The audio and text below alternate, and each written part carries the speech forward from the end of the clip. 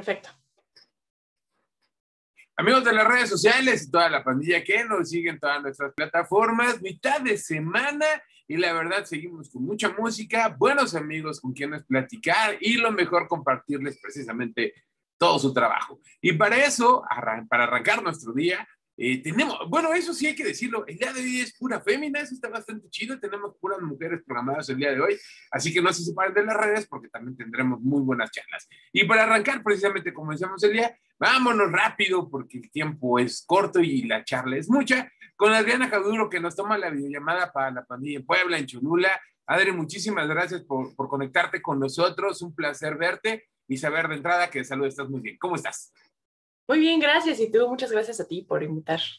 No, al contrario, gracias a ti. Y bueno, pues lo que nos atrae a esto, ¿no? Promoción del nuevo sencillo, promoción de un EP que te tiene trabajando eh, mucho ya de, tiempo atrás, pero vaya, por, por principio de cuentas, ¿no? ¿Hace cuánto inicia Adriana dentro de la industria musical o cómo surge ese gusanito por, por todo este amor hacia la música?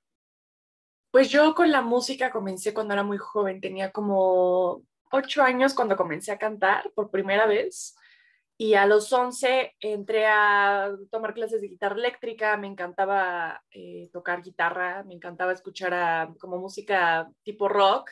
Okay. Y sí, mi familia escuchaba como siempre rock clásico y me ponían de que Jimi Hendrix y Led Zeppelin y a mí me encantaban así de ver cómo tocaban la guitarra y escucharlos. Y empecé a tocar guitarra por eso. Yo realmente quería ser guitarrista al inicio. Pero pues de ahí fue avanzando, ¿no? Este, conforme pasan los años, me empezó a llamar la atención escribir canciones y este, cantar, acompañándome con la guitarra. Y me empezaron a interesar también otros géneros, ¿no? Como la electrónica, el pop. Y, y, fue ahí donde ya comencé a experimentar con estos géneros, ¿no? Aprendí un poco de producción, fui a estudiar también música al, al extranjero, estuve allí estudiando cinco años este, y fue ahí donde comencé proyectos originales. Oye, eh, esta parte ya de tu acercamiento, de cuando empiezas a, escribir los, propios temas, ¿cómo surge de alguna manera este camino en el cual está, estás presentando hoy en día ya este P? Es decir, ¿cuánto tiempo te llevó el madurar esas canciones? Digo, a, a principio esa canción, la primera que escribiste, yo quiero pensar que hoy ya no tiene nada que ver con aquello que, que escribiste y que produjiste, si, si, se llegó a producir por primera vez. Pero ¿cómo fue encontrar ese camino por el cual tú te sentías cómoda, tanto como, como músico, como producción también al final del día, ¿no? No, claro, fíjate que estas canciones las hicimos hace dos años aproximadamente, o sea, tienen dos años este, trabajando y, y, este, si no es que un poquito más.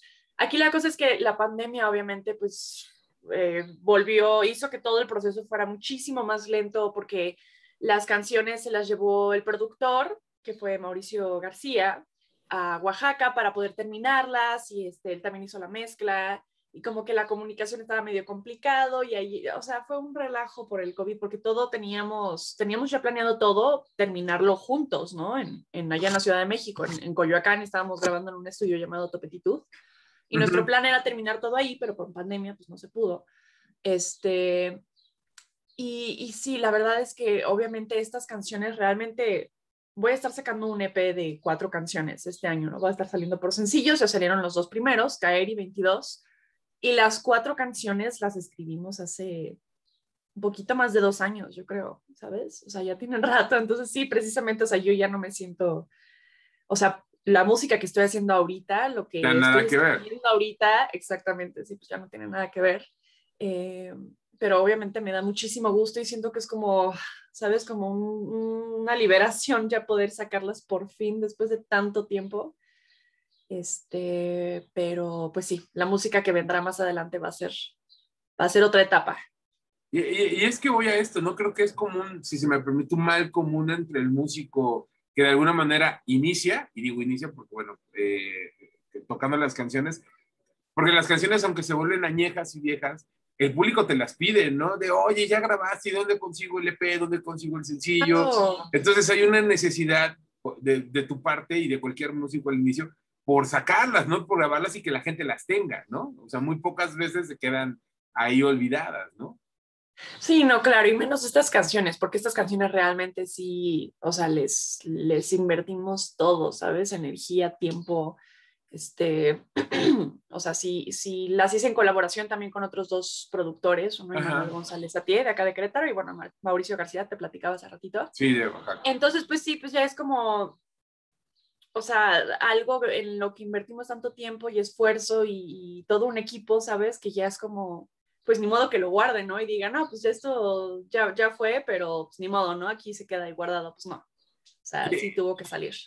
Que, escuchando parte de, ya del material que ya nos has regalado, eh, se asemeja mucho, digo, no quiero comparar, obviamente esto no es, pero me, me agradó porque eh, no hay un sonido como el tuyo dentro de las mujeres en nuestro país, y me refiero a que o trabajan sobre el folk, sobre la fusión, sobre el hip hop, sobre el rock, pero lo tuyo se asemeja mucho a trabajos como Francisca Valenzuela, como Javier Amena, y, y hay algo que no se tiene ahí, o, o, quien ha introducido de alguna manera también estas bases, pues es un grupo completo, ¿no? Puede ser hablando con Hell Seahorse, etcétera, pero, pero proyecto individual no lo hay, ¿no? ¿Cómo evolucionar también con esto nuevo después de dos años de trabajo y de encierro también de año y medio, porque esa es otra cosa, ¿no? Digo, tus cuatro paredes también fueron un proceso introspectivo, yo creo que interesante para seguir componiendo, pero para seguir explorando sonidos sobre esto nuevo, que no estoy diciendo que va a venir en este P, pero que más adelante nos pueda regalar.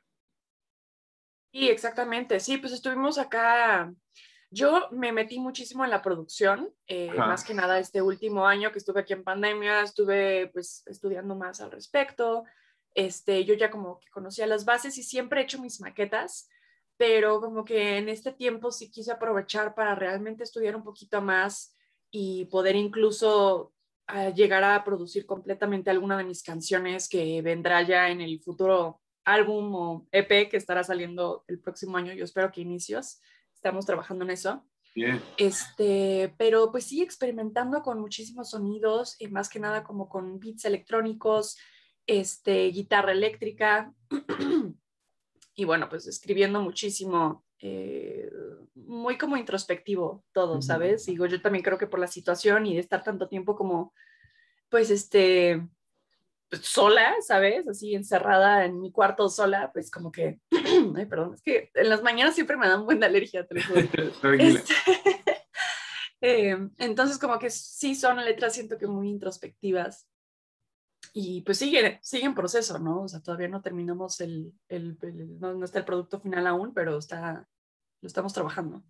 Y que aparte, como yo siempre he dicho, ¿no? La música, los discos son como un buen caldito, ¿no? Está el tiempo de cocción, de preparación, si no la gente no lo disfruta como tiene que ser. Lo que sí es importante es recordarles que, bueno, 22 ya es la última entrega tuya, no tienen el mes de, de, salida de alguna manera en plataformas, y tú ya lo decías, quisiera pensar que vas a cerrar el año, al menos hasta noviembre o diciembre, estrenando los otros dos siguientes sencillos, igual a lo mejor cada mes y medio, cada dos, ¿será por ahí la proyección? Entre dos y tres meses, ¿sabes? Para darle realmente tiempo a cada canción eh, y de moverla y todo, en especial porque también estamos sacando videos oficiales, tanto Caer como 20 ya tienen sus videos oficiales, entonces le queremos dar realmente un espacio para moverlas este, individualmente, ¿no? Claro, digo, al final es algo que, digo, la gente que ya está viendo que ya lo entiende, ¿no? El hecho de ir sacando sencillos o un EP es para que cuando llegue primero, es la presentación oficial del disco, la gente ya se, ya se sepa todas las canciones. Que es otra cosa que te quería preguntar, digo, eh, leí que había una, que hubo una presentación el 29, ¿sí se concretó? ¿Sí se pudo concretar? ¿Cómo te sentiste también?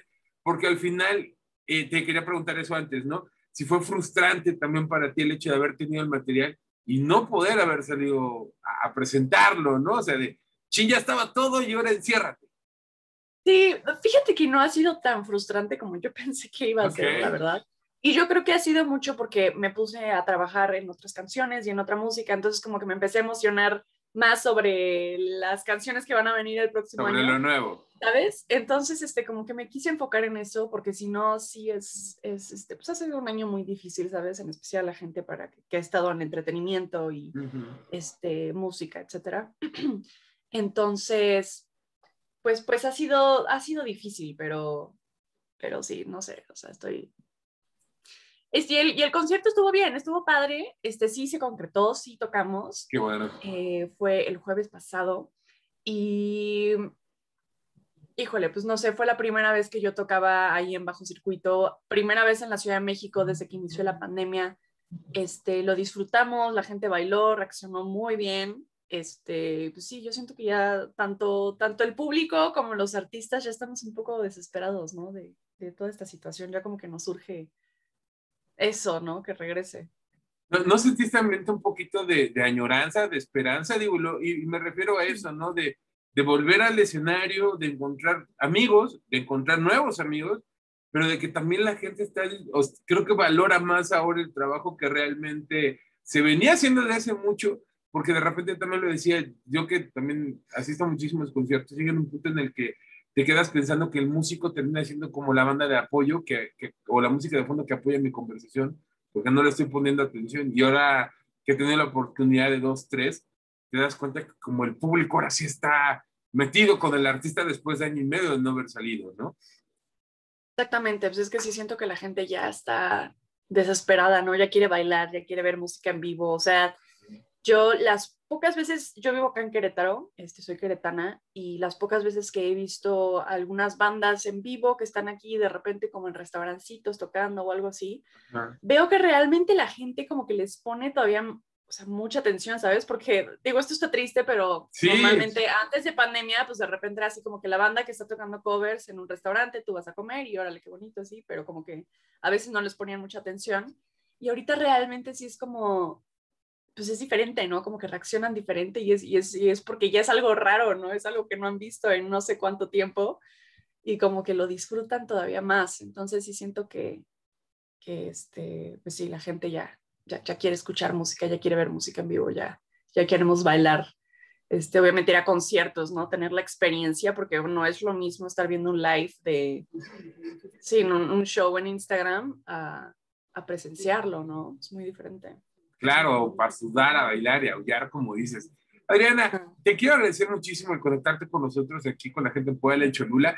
Pero antes de despedirte, eso sí, invitar a la gente, como decíamos, a que se sumen a las plataformas digitales, a que te sigan en redes sociales, cómo te encontramos, para saber obviamente los siguientes lanzamientos, que nos quedan dos. Y pues primero Dios, en cuanto a todo esto, también lo voy aprendiendo poco a poco, pues más fechas. Claro, sí.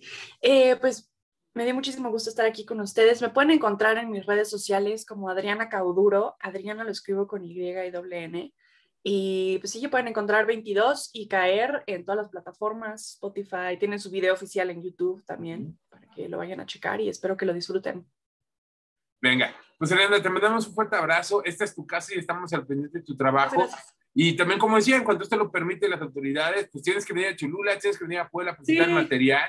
Y este, estamos como a tres horas, si no estoy mal, ya ahí por el arco norte, estamos Así es, sí, como a tres horas, si no es que un poquito menos. Vienes y hacemos radio, hacemos un showcase, hacemos algo en televisión también para que vamos a tocar en vivo. Me encantaría. Yo siempre lo digo, el cielo es el límite, solamente es que nos den chance de hacerlo y aquí te esperamos. Exactamente, así será, vas a ver que sí. Claro que sí, te mandamos un fuerte abrazo, cuídate mucho síguete cuidando. Muchas gracias. Muchas gracias. Bye, bye.